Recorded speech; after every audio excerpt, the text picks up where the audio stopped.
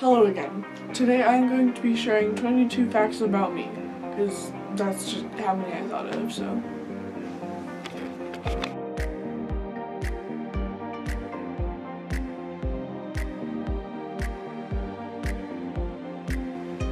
Fact number one. I have dual citizenship in Canada and the United States.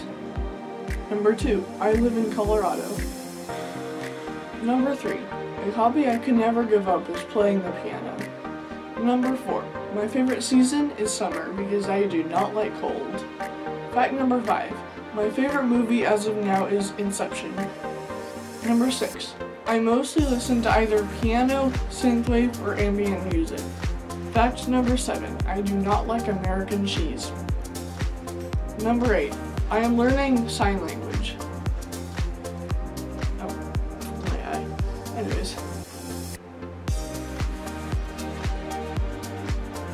Fact number nine. I can make this noise.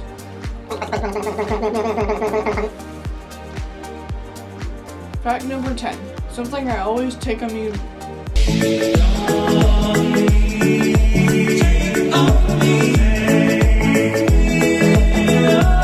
Fact number 10. Something I always take with me on vacation is this, my iPod Nano. It's for, it's an old MP3 player for music. Number 11. I have two black cats, Stitcher and Trooper. Fact number 12. I have an Australian Labradoodle puppy named Finnegan. Fact 13. My family used to call me Ellie Bean. You know, Jelly Bean.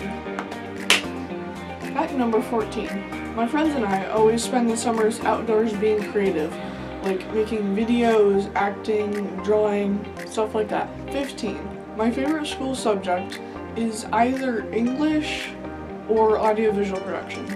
When I was little, I wanted to become a dragon trainer when I grew up. Number 17. I'm addicted to Rice Krispie cereal. I need to stop this addiction It's ruining my life. Just kidding, they're really delicious, but I still might need to have something healthier for breakfast. Fact 18. My favorite color is like kind of like this yellow with a hint of orange to it. It's, it's hard to explain, but Fact 18. My real name is Eliana. Fact number 20. I could never get tired of eating mac and cheese. Fact 21. These are scary. And finally, fact number 22. Five. Anyways, fact number 22. I actually have this one-of-a-kind chromosome abnormality. Basically, nobody else in the whole entire world has ever been discovered with this, even though, like, someone might have it, but we don't know yet, so. Bye-bye.